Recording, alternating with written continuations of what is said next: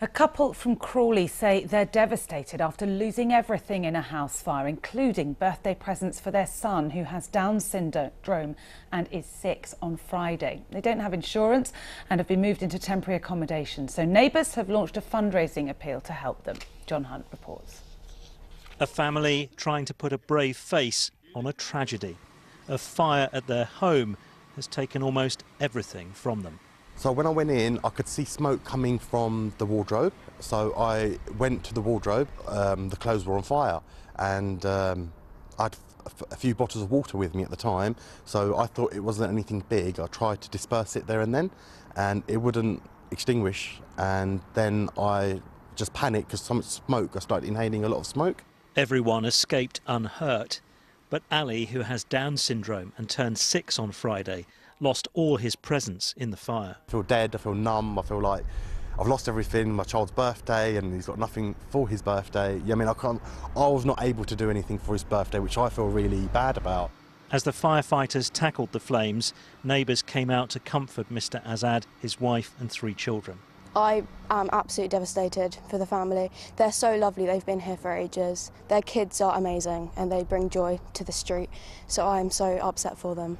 The local community has set up a fundraising campaign because the family has no contents insurance. A birthday cake and presents have been sourced for Ali and people are donating gifts. Clothes, furniture, sofas, beds, everything because obviously they lost, from what I understand, they've lost quite a bit of furniture upstairs, um, TVs and, and, all that kind of stuff. So there's been a lot of um, offers of, of anything that people can give in the area, which has been really kind and really appreciated.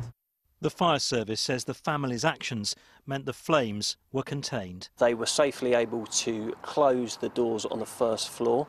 This prevented further fire spread to the remaining areas of the property and allowed them to safely evacuate. The family had to spend last night with friends, but today the council has found accommodation for them in a local hotel.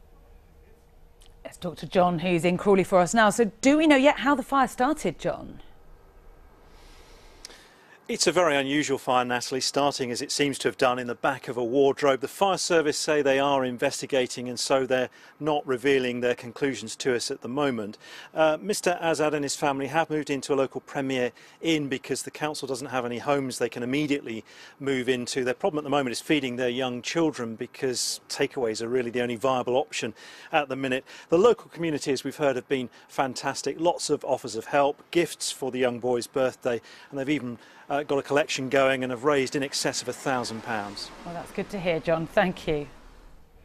Coming up in a moment.